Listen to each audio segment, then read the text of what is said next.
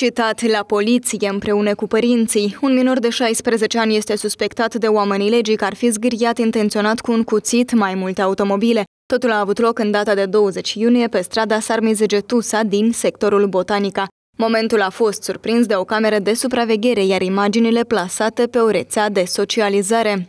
Adică la tine început, aici o lecuțăcă și la mine. Cheie, da? Da, dar nu și are, mă, nu se înțelege. Eu, cu Și e că am zonă licăită. Că vreți să meargă mai departe pe tete. Da.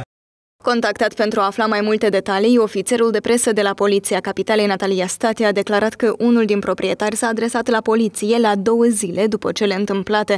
În urma măsurilor de investigație, oamenii legii au reușit să stabilească identitatea suspectului. Este vorba despre un minor în vârstă de 16 ani, locuitor al capitalei. Băiatul împreună cu părinții săi a fost citat la poliție, unde urmează a fi audiat. Acesta riscă amendă de până la 1800 de lei sau până la 40 de ore de muncă neremunerată pentru deteriorarea bunurilor străine, dar și 1500 de lei amendă sau până la 60 de ore de muncă în folosul societății pentru huliganism nu prea grav.